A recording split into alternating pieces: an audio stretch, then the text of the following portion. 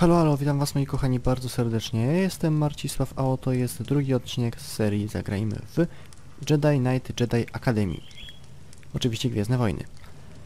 W poprzednim odcinku przybyliśmy jako nowy uczeń Jedi na planetę Javin, na której Luke Skywalker założył pierwszą od czasu Imperium Akademię Jedi. I ma się teraz zacząć nasz trening. A więc to jest nasz mistrzu, to jest Kyle Katarn, o, bohater poprzednich części gry. A to jest wyrzut na dupie o imieniu Rosh. My, e, Rosh idzie z Kylem tamtędy, my idziemy tędy. W tle leci muzyka z Gwiezdnych Wojen. Będą roszczenia. These are powers that every force user has. As you progress in your training, you will learn new abilities. Both the light and dark sides will be open to you. Remember, abilities are not inherently good or evil. It's how you use them. Every Jedi is naturally stronger in different areas of the Force, and it will be up to you to decide what to focus on. All right, let's get started. In the next area, you'll find some training remotes. These will help you learn how to handle a lightsaber. Ready? Ready!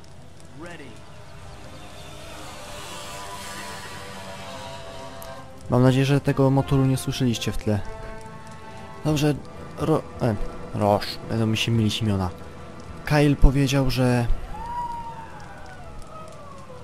No zatłukę jak psy. Zamknąłem okno, poczekam aż sobie państwo motorowcy pójdą. I teraz mogę mówić. Kyle powiedział, że e, podczas tego treningu nauczymy się używać mocy.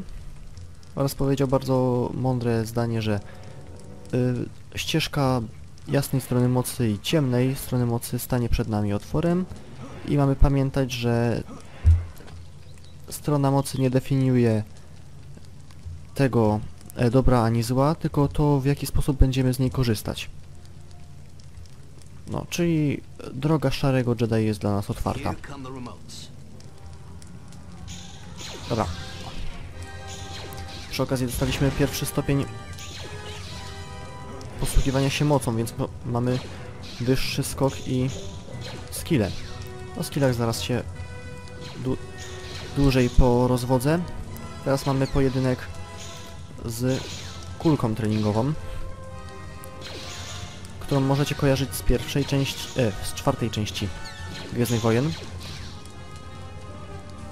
Z taką kulką walczył Anakin. Nie Anakin, Luke.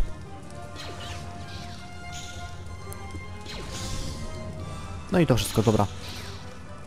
Trochę o mechanice walki. Nasza postać sama automatycznie wykonuje obronę przed strzałami. Więc o to się nie musimy martwić. Możemy co najwyżej jeszcze dodatkowo unikać pocisków. No i co? Czas zniszczyć kulkę. Traf, daj się trafić.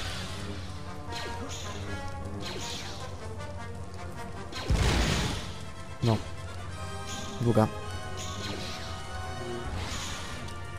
Porzucam sobie trochę mieczem. O, Rosz już skończył. Dobra.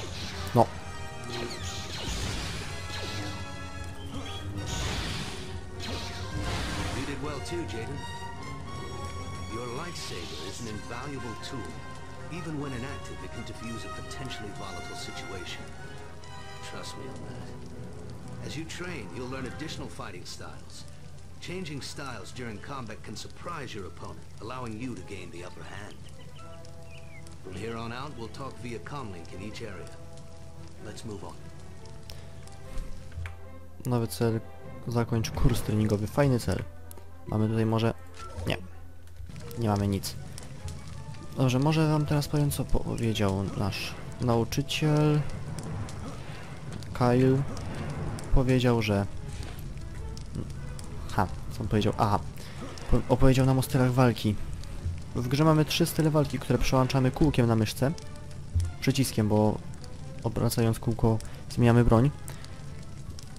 Styl jest nam po pokazany tutaj na prawej stronie, na tym na tym hologramie mamy to żółte światełko. To oznacza, że mamy w tym momencie uruchomiony styl w... Kurde, ja go nie słyszę.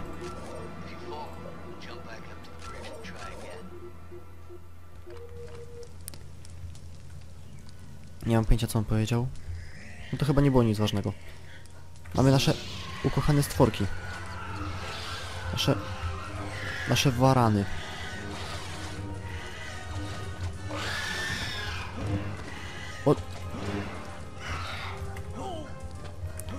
Razem z pierwszym poziomem mocy dostaliśmy też więcej hardkorowych, akrobatycznych ciosów. Na przykład takie coś.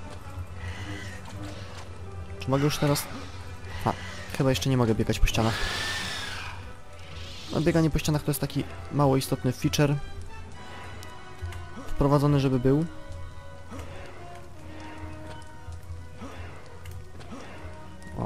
Nawet się jeszcze nie mogę odbić od ściany. Wprowadzony, żeby był.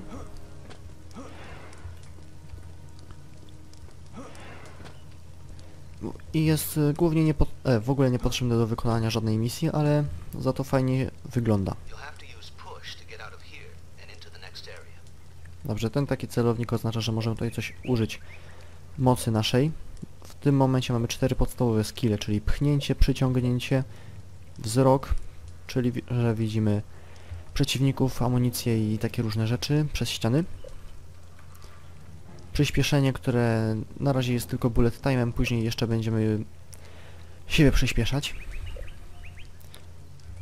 No i używamy pchnięcia.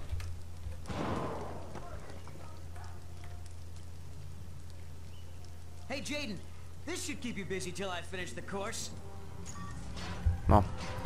Wrzut okazał się być wredny, ponieważ wystawił nam robota treningowego do walki.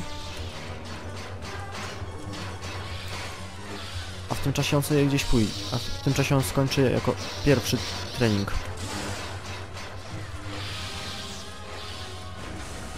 No. Wygraliśmy. Dziękuję bardzo. Z tego co pamiętam nawet mocą mogliśmy go rozwalić. Więc nie był zbyt wymagającym przeciwnikiem. Dobra, ja się nie będę tutaj za bardzo rozłaził na boki.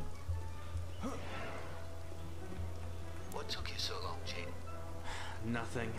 You're sure? It was nothing.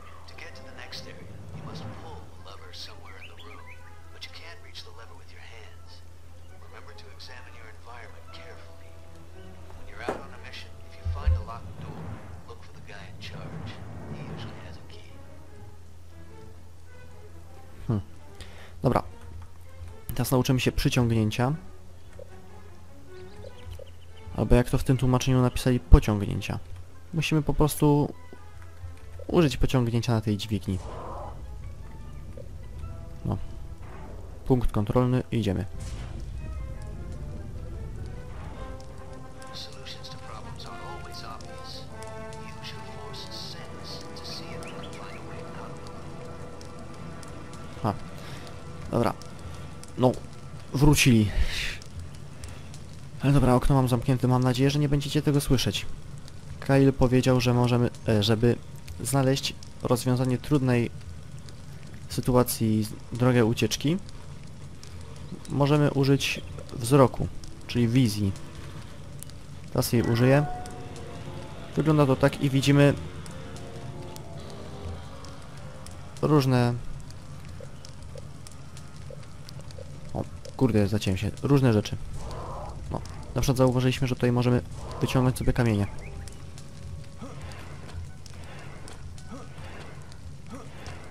Aj. Mm.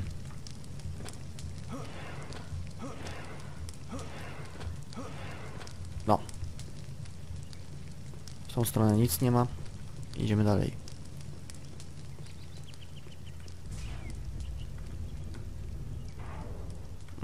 Tam zaczęliśmy. Tam jest wejście do tego miejsca.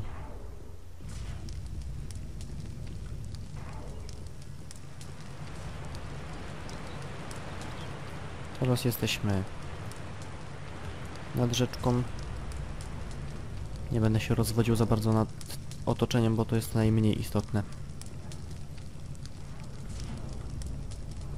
almost done.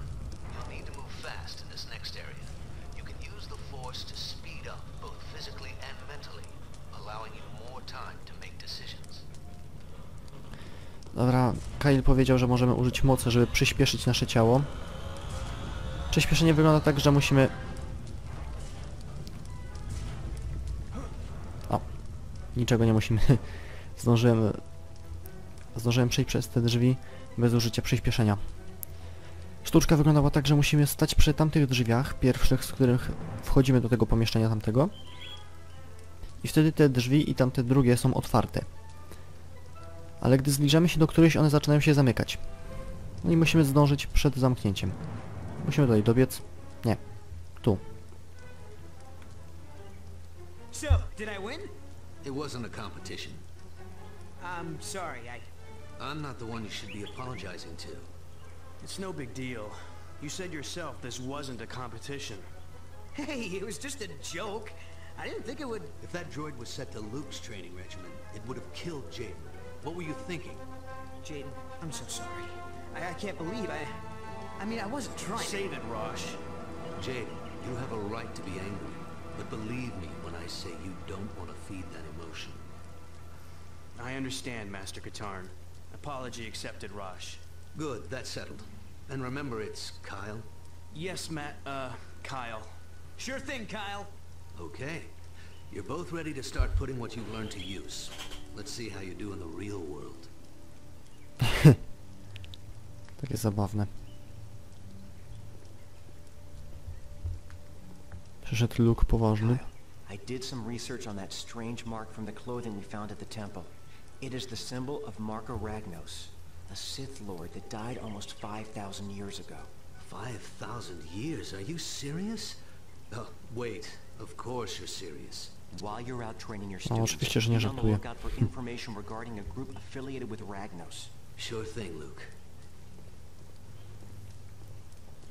Czyli wątek z tymi sitami nadal się ciągnie.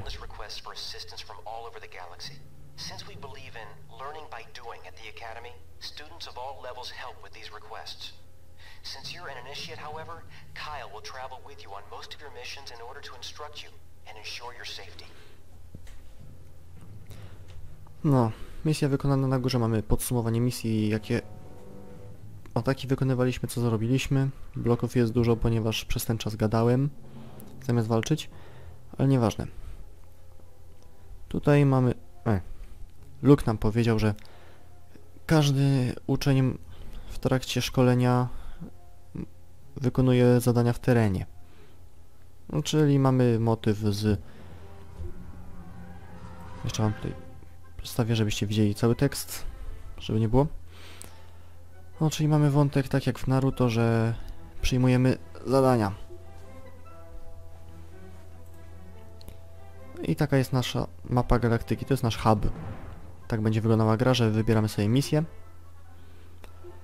Wykonujemy ją i wracamy tutaj. Dostajemy jeden punkcik do skilla jakiegoś i robimy następną.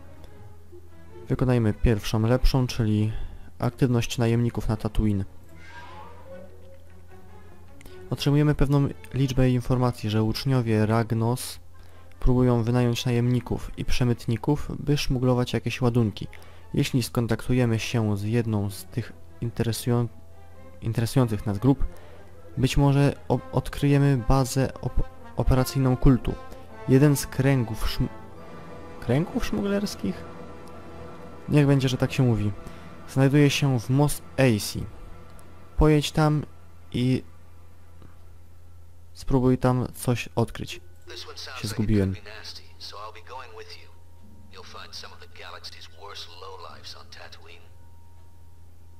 No. Kyle leci z nami. No. Pomoc. Ten ekran pozwala na zwiększenie wybranej siły mocy o jeden stopień. Maksymalnie można uzyskać trzeci stopień. Kliknij na jedną lub jasną lub ciemną ikonę mocy, aby dodać punkt. Centralnych mocy nie można ulepszać. Aby przywrócić ulepszonej mocy jej oryginalny stopień, kliknij na nią ponownie. Aby ulepszyć lub wybra już wybraną moc, będzie do dostępny ekran wyboru broni. Co? Nie rozumiem tego ostatniego, czekajcie. A. Gdy ulepszysz już wybraną moc, będziesz miał dostęp do ekranu broni. Dobra. Tutaj centralne moce to są takie ogólne nasze skille, czyli wysokość skoku, częstotliwość... E, szansa na zablokowanie ciosu wroga, odległość rzutu, moc wzroku i podstawowe skille. Tutaj zaczyna się zabawa, mamy jasną stronę mocy, czyli absorbowanie, czyli taką barierę, która wchłania moc wrogów. Czekajcie, to, że to jest? Nie. Dobra. Uzdrawianie, czyli bardzo ważny skill. Trik z umysłem, co?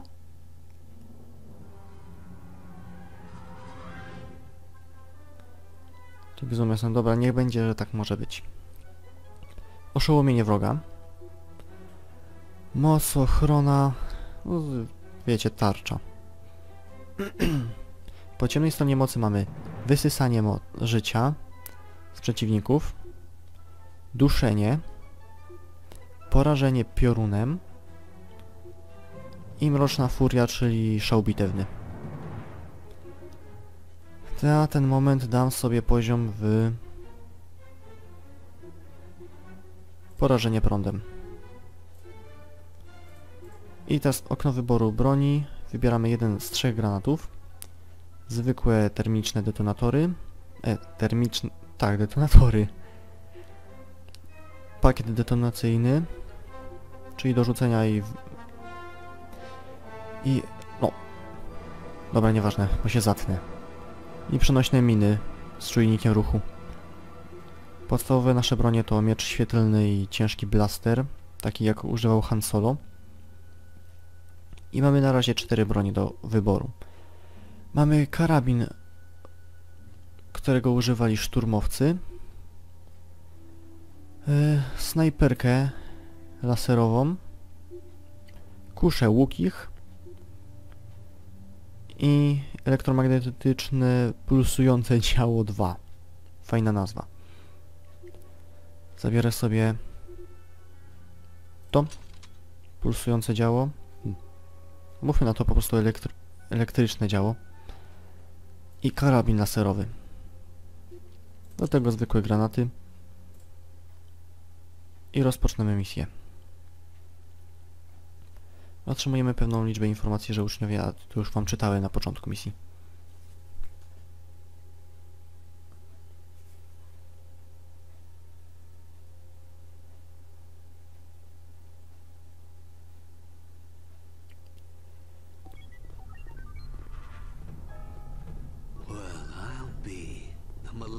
Falcon. Millennium. Ah, Chewie, anybody here? I guess they're out.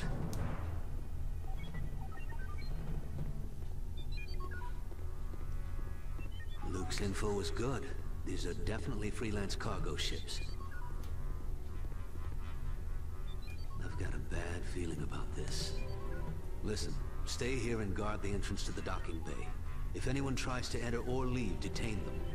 I'll head over to the Crate Cantina and ask around. I know some people there. O, Javy.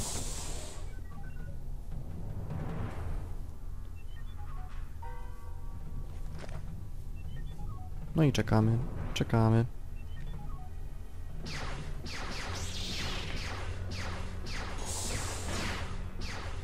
I kto to przyszedł? Jedi? Me? No, not yet. I'm one of Kyle Katarn's students. He's talking to some locals.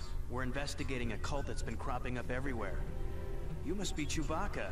Why are you here? Leia Organa? Wow, must be important business.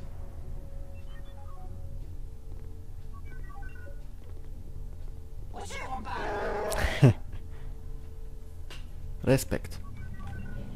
Dobra.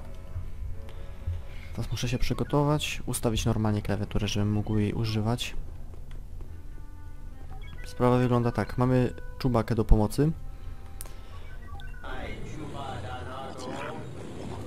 I będziemy walczyć z najemnikami. O, możemy po, po nich skakać. Przewracać ich. Odcinać im ręce. Strzelać z karabinów.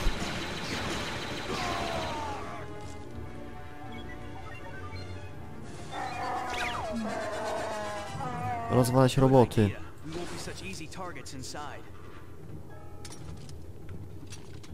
Na razie trochę postrzelamy sobie dla zabawy. Ustawię tylko jeszcze bullet time. Widzę nasz pierwszy cel. Co się chowasz?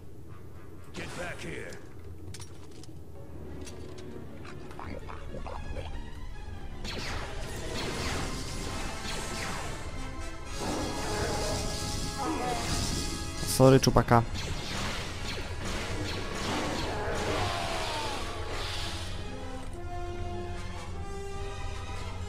To są wybuchające beczki. I to wszystko, co musicie wiedzieć.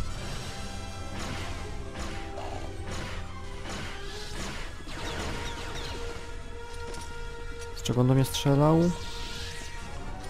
Hmm. Chyba tego jeszcze nie zebrałem. O, zabił go. Dobrze, apteczka, bomby. Wszystko, czego nam trzeba. O.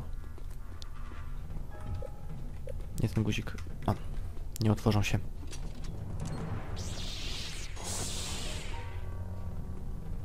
To jest dyspozytor z amunicją.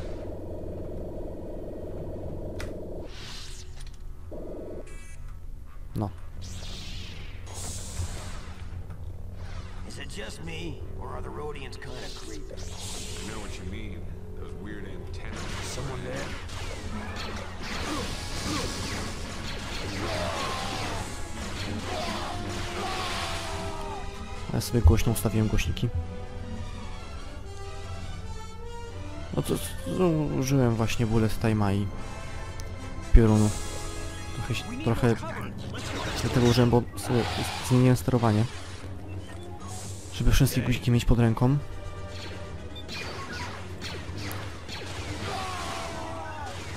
Jednocześnie musimy parę guzików przestawić. Na przykład mocy pod R mam ustawione. A Q i E mam wybieranie mocy. Gdzie on? Tam jest.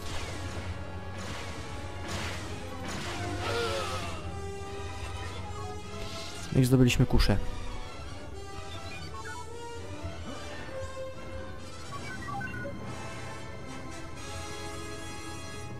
Teraz pytanie, gdzie idziemy?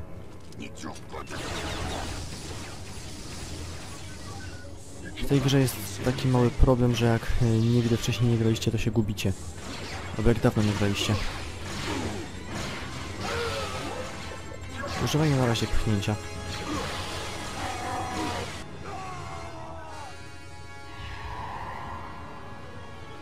Jeżeli nie wiecie co teraz się dzieje, no to właśnie włączają się pola siłowe utrzymujące statki w dokach. A w dokach, na, na lotnisku. Gdzie się strzelają tam?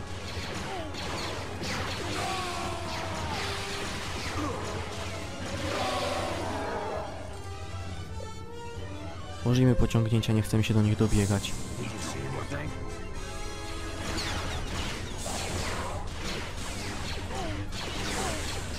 A spieprzyłem.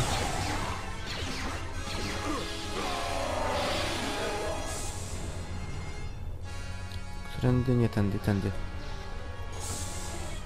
To jest nasz statek.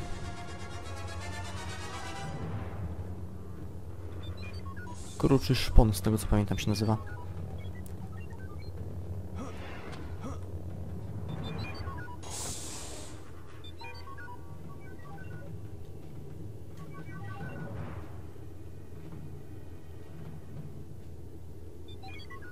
Jej, będzie zabawa.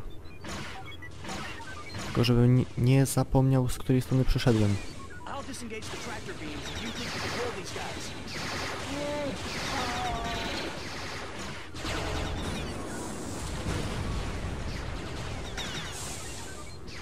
Dobra, my pójdziemy wyłączyć pola ściągające,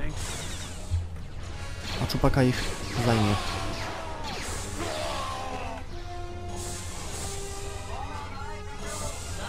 O, tu, tu, tu, tu, tu. Przy okazji omówienie broni. Nasz ciężki blaster Hanna Solo jest... A nie, jednak ma skończoną amunicję. Pamiętałem, że nie, że miał nieskończoną.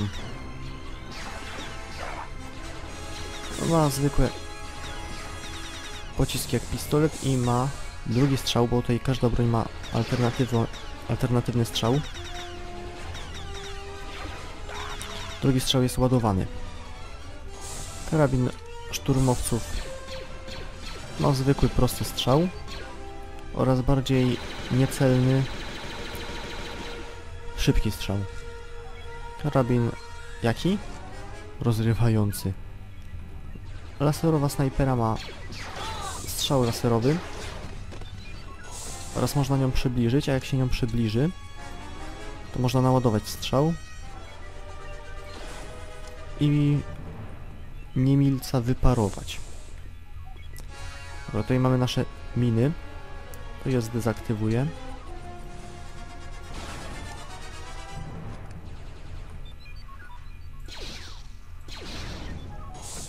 I możemy iść.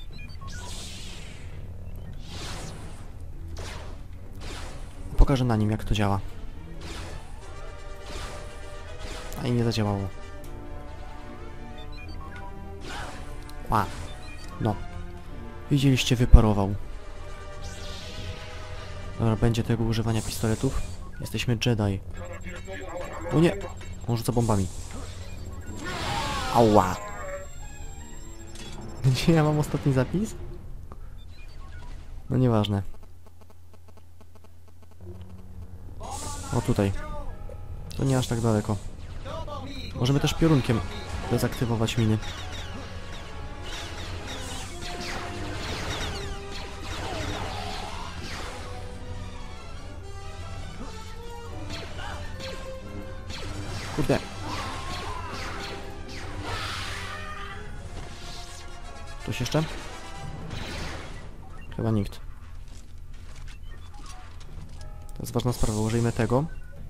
Fajna.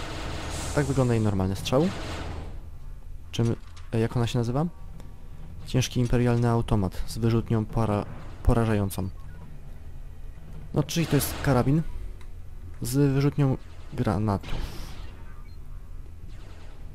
energetycznych.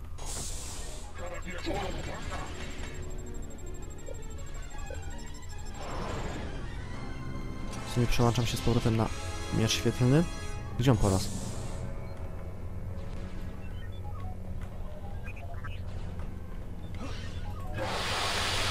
No. Tak kończą frajerzy. Tu już widzicie nasze znajome mordy. To jest C-3PO. No traf.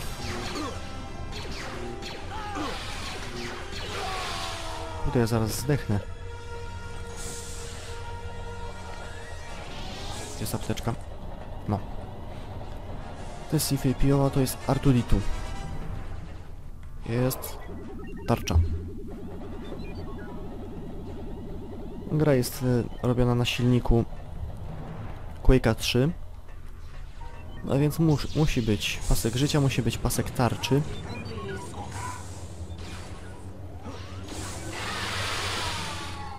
Dobra. O. Widzicie, ucięliśmy mu rękę. Naprawdę bardzo fajne takie.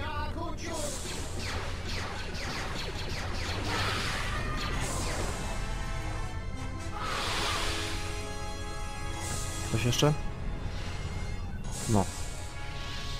Wchodzimy do windy. Halo? Ty, ty, ty, ty, ty. Zapis. Przy okazji do walki mieczem świetlnym jest jeszcze przy przytrzymaniu obu guzików myszki wykonujemy atak specjalny kosztujący nas 50 punktów many. Wygląda on tak.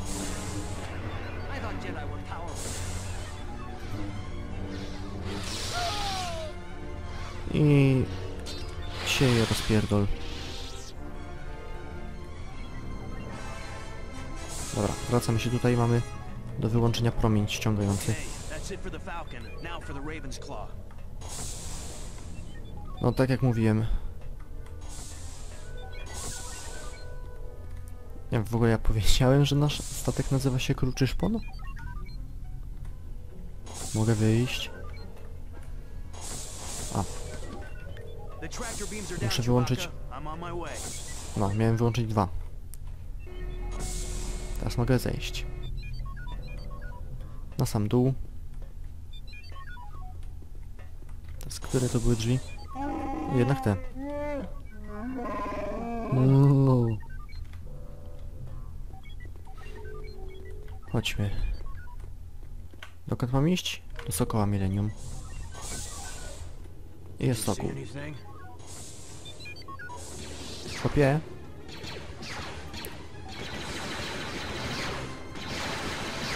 Kopię. Strajfujemy i wygramy. No. Dy, dy, dy.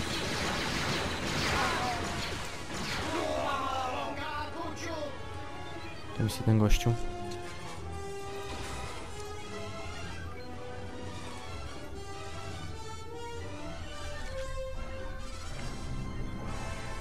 W ogóle powiedzcie mi, czy mam walczyć w trybie pierwszej osoby? Jak ten guzik. Czy w trybie trzeciej osoby? Bo tak też się daje, walka jest dość dynamiczniejsza. Ale mniej widać. No i widzę, że na, do następnej misji będę musiał sobie dać jeden punkt w leczenie.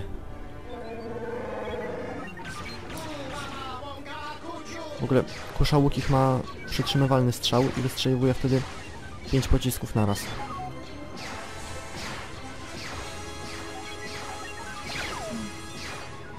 Headshot. No, koniec. Porobieni. Oh, did I miss something?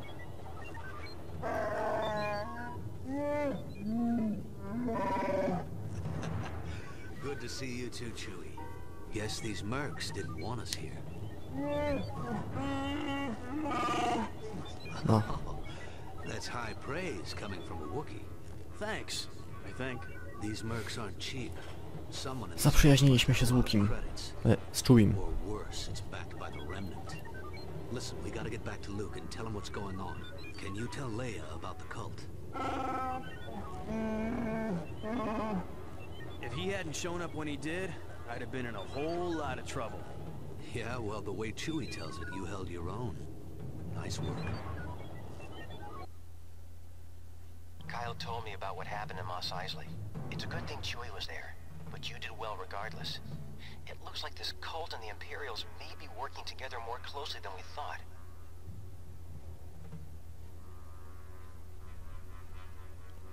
Dobrze. To była nasza misyjka, pierwsza. We've Wykonaliśmy. looking into the shuttle crash, and it doesn't look like laser damage or mechanical failure was responsible. It's almost as if something just tore apart the engines.